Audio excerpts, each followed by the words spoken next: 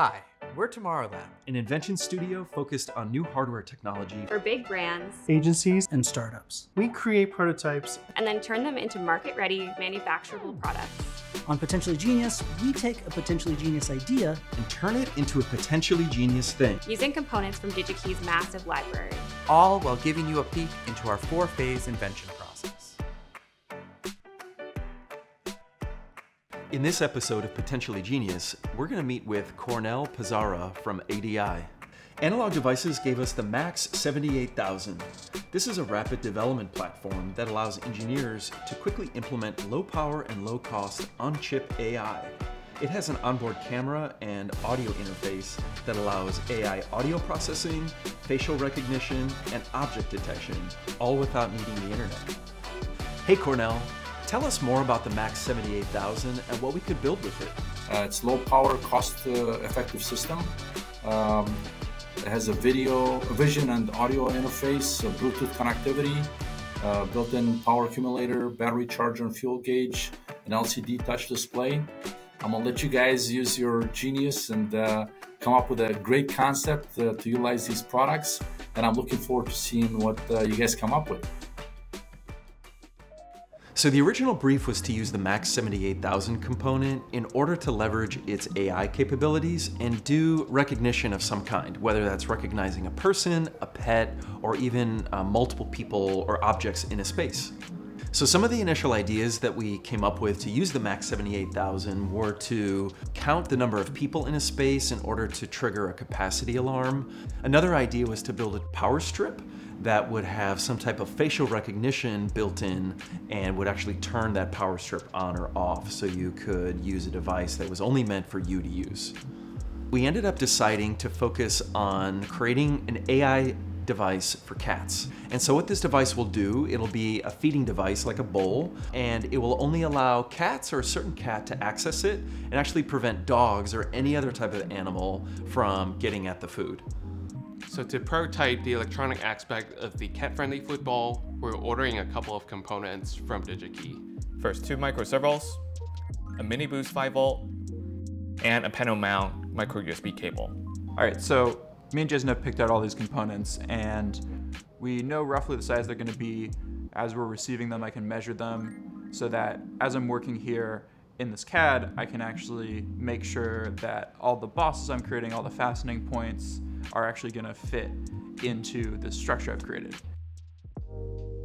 On the electronic side of things, for a typical potentially genius project, we usually have A, hardware, and B, firmware.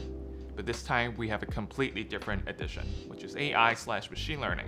Before sitting in front of a computer and gathering real-life data of objects beforehand, in this case, pictures of our stuffed cats and dogs. Convolution neural nets work the best when the unexpected input is mostly, if not completely, covered in the vast training dataset.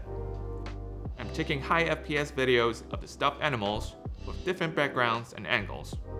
I'm chopping them up into tons of still frames, labeling and organizing them into folders.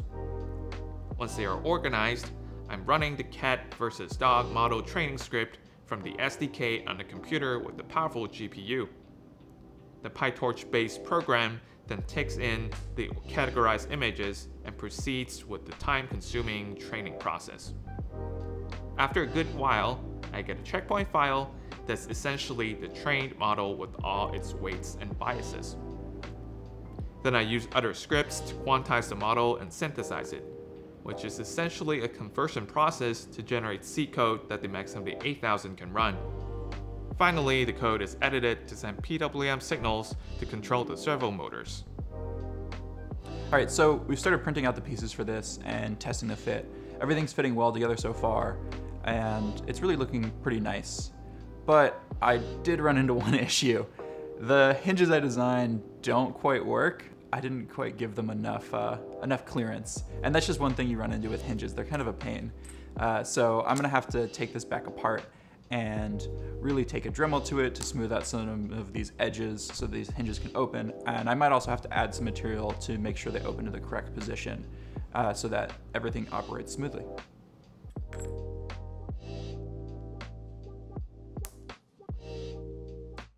I'm not gonna worry too much about like the shape of this. because I'll come back in with a tool later and shape it nicely in there. All right, so uh, one last little thing I want to do before I assemble this.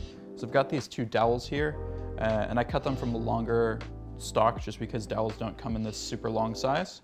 You can see they're pretty big. Um, and I've already cut them down to size, but now I just need to clean up the ends.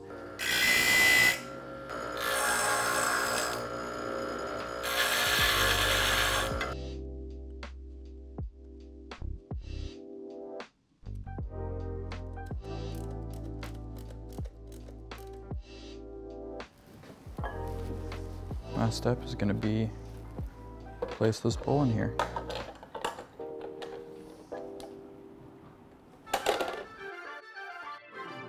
Hey Cornel, good to see you again. Hey guys, uh, great to see you guys again. I'm really looking forward to seeing what you guys came up with uh, as far as the Max 78000. I know you guys came up with a great idea, so I'm looking forward to seeing uh, seeing in action. So this product we're calling cat.ai or cat eye. And the main features include first, there's a food bowl. This metal food bowl is meant to hold the food for the cat.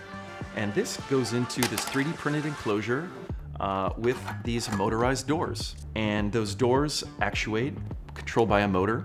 And that motor is driven by um, our AI powered board from ADI.